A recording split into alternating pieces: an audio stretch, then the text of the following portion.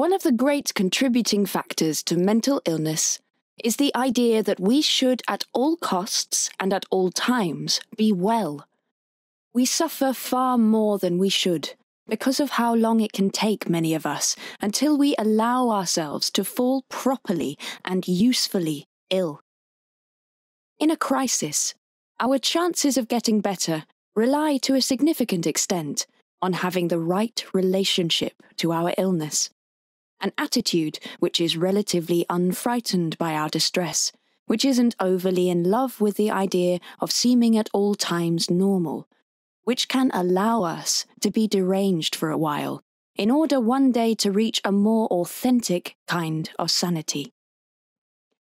It will help us immensely in this quest if the images of mental illness we can draw on at this time do not narrowly imply that our ailment is merely a freakish and pitiable possibility. If we can appeal to images that tease out the universal and dignified themes of our state, so that we do not, on top of everything else, have to fear and hate ourselves for being unwell. We stand to heal a great deal faster if there are fewer associations like those created by Goya of madness as the seventh circle of hell, and more of men and women a little like you and me, sitting on the sofa, able to combine our inner wretchedness with other, more temperate and attractive qualities, so that we remain every bit human, despite our terrifying convulsions, absences of mind, catastrophic forebodings, and sense of despair. The best philosophical background against which to wrestle with mental unwellness would be one that conceived of the human animal as intrinsically rather than accidentally flawed. A philosophy that would resolutely reject the notion that we could ever be perfect, and would instead welcome our griefs and our errors, our stumbles and our follies, as no less a part of us than our triumphs and our intelligence. It is Japan's Zen Buddhism that has historically perhaps best put forward such notions, with its bold declaration that life itself is suffering, and its veneration in the visual arts, and by extension in its psychology, of what is imperfect and unglossy. Rainy autumn evenings, sadness, moss covered roofs, stained wooden panels, tears, and, most famously, misshapen and irregular pieces of pottery. Against such a background, it becomes a great deal easier for us to accept ourselves in our unwell state. We feel less guilty that we are not at work and are not playing up to the roles demanded of us by responsible others. We can be less defensive and frightened, more inclined to seek out proper care, and more likely to recover properly in time.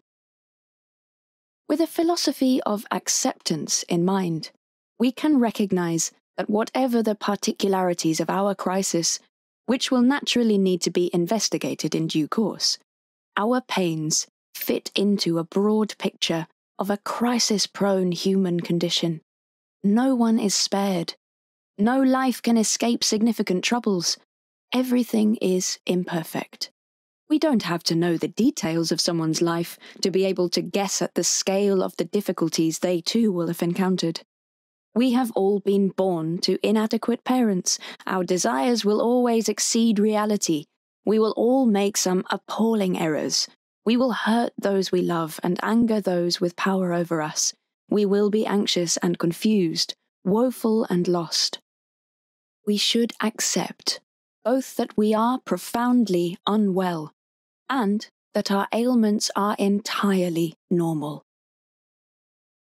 Japanese philosophy has another lesson for us at this point. We will probably one day be fixed, but there are likely to be substantial and ineradicable marks. And yet, these marks can be worn with pride and self respect. According to Zen Buddhism's tradition of kintsugi, an accidentally smashed bowl isn't going to be thrown away in embarrassment. Its pieces can be carefully collected and reassembled with glue inflected with gold. The traces of repair are made obvious, celebrated, and cherished as if to suggest to us, as we bring a cup to our lips, that we do not have to give up on ourselves or be ashamed of our brokenness. We can confront our illness without panic or fear, with a quiet, intelligent sadness, perhaps best captured by the word melancholy.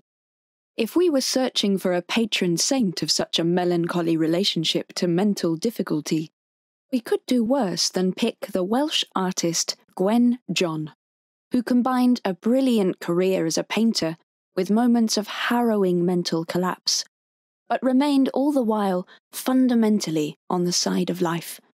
From her self portrait, John implies that she would understand whatever we might be going through.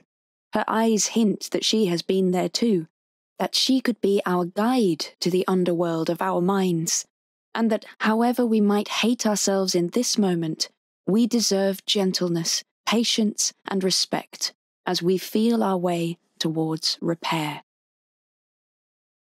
Our online shop has a range of books and gifts that address the most important and often neglected areas of life, such as finding a good enough partner and mastering the art of confidence. Click now to learn more.